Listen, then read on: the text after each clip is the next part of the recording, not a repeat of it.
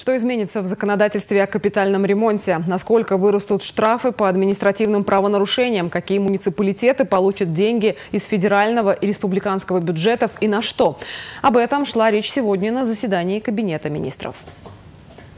Жители многоквартирных домов, которые копят средства на капитальный ремонт на специальном счете, знают, что владельцы этих счетов должны ежемесячно отчитываться перед жилинспекцией. Изменения в законодательство уточняют, какие сведения должны предоставлять владельцы счета, в каком порядке и какие сроки. Вся информация позднее появится на сайте Госжилинспекции Чувашии. Вносятся изменения для прозрачности денежных потоков, пояснил исполняющий обязанности министра строительства Владимир Максимов. Об изменениях в законодательстве продолжила говорить министр юстиции юстиции Наталья Тимофеева. Ее ведомство сейчас уполномочено рассматривать нарушения в области использования объектов нежилого фонда. И наказание в Чувашии сейчас ниже, чем предусматривает КАП Российской Федерации. Настоящим проектом закона предлагается за нарушение порядка распоряжения объектом нежилого фонда, то есть а, распоряжением объектом государственной собственности без согласия Минюста Чувашии как уполномоченного органа, размер ответственности с тысячи а, до полторы тысячи рублей увеличить до 4-5 тысяч рублей.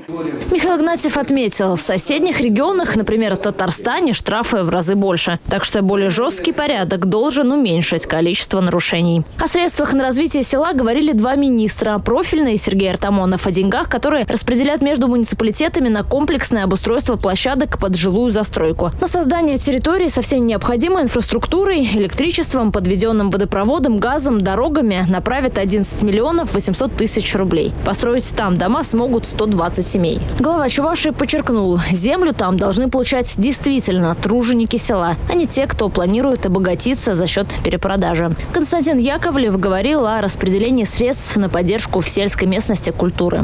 На укрепление материально-технической базы, оснащение оборудованием детских школ искусств, также подключение это общедоступных библиотек сети интернет и развитие системы библиотечного дела, также выплата денежных поощрений лучшим муниципальным учреждениям культуры общей сложности более 4 миллионов рублей. С федерального миллион четыреста с лишним, с республиканского бюджета выделено. Михаил Игнатьев уточнил, по какому принципу выбирались учреждения для поддержки и отметил, деньги небольшие, но стимул сотрудники культурных учреждений должны получить.